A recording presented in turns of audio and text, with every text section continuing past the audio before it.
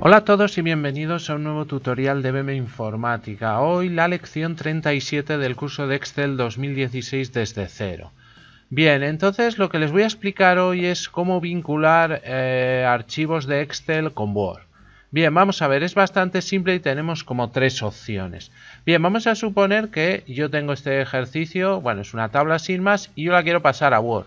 Bien, podemos hacer la opción normal, un copiar-pegar, yo la selecciono aquí, le voy a decir que la quiero copiar, me la llevo a Word, que ya lo tengo abierto y lo pego.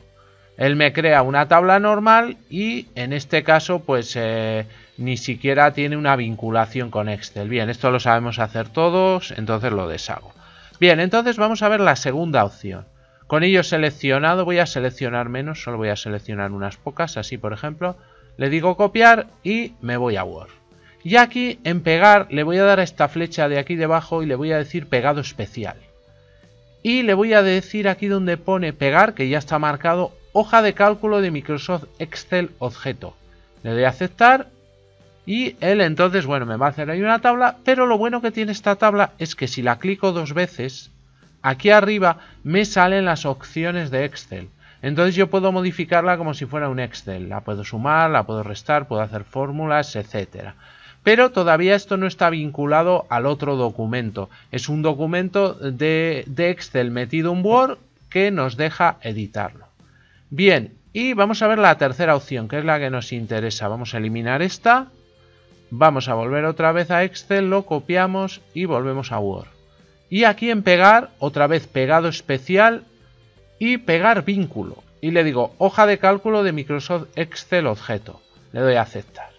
Me sale una tabla como la de antes, pero la diferencia es que cuando yo le clico dos veces, ven como automáticamente me abre el documento de Word que yo estaba usando.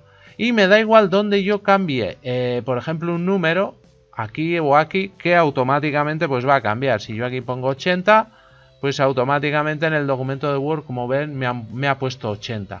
Eh, no es necesario que estén los dos documentos abiertos. Con que cambiemos en uno de los dos, pues funcionaría. Muy bien, pues hasta aquí el vídeo de hoy del curso de Excel, hoy cortito, pero como ven muy útil, saber cómo vincular archivos Excel con Word. Si les ha gustado me pueden dar un like, se pueden suscribir a mi canal, ya saben, debajo donde pone suscribirse y así van a estar informados del vídeo vídeos que subimos a diario. Me pueden seguir en las redes sociales y en las páginas web de BM Informática y la Buhardilla de BM. Cualquier comentario, sugerencia o petición me lo ponen debajo que yo contesto a todos. Muy bien, muchas gracias y hasta el vídeo de mañana.